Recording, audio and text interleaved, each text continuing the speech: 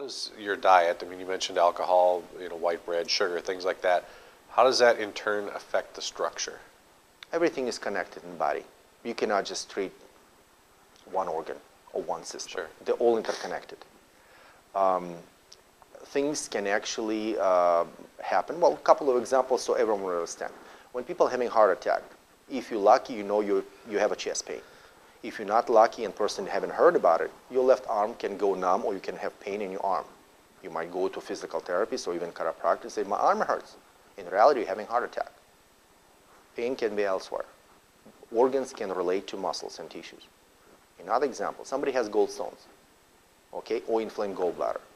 You can have pain between shoulder blades. You can massage it until the cows come home with no results unless somebody realizes. You see the connection between musculoskeletal issues and organs and systems.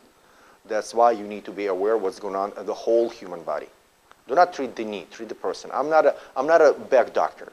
I'm a people doctor. Mm-hmm. You need to treat people as a whole person. Somebody comes to me even with a finger or with a knee, I ask them the same question. How's your water? How's your food? How's your rest? How's your sleep? How's your emotional load? What's going on? Sometimes you figure out, I mean, very common thing in my practice, people come with a low back pain. I'm fixing it even without touching it. Because most of the time, it's a compensation for the other problems in the body. How many knees did I fix just without even touching any ones? Well, I assessed it, but I was working on the body absolutely in different places. Maybe a foot, maybe a neck. Knee pain is gone. You need to see the complete picture of the complete person. That way, you're going to get results, permanent results.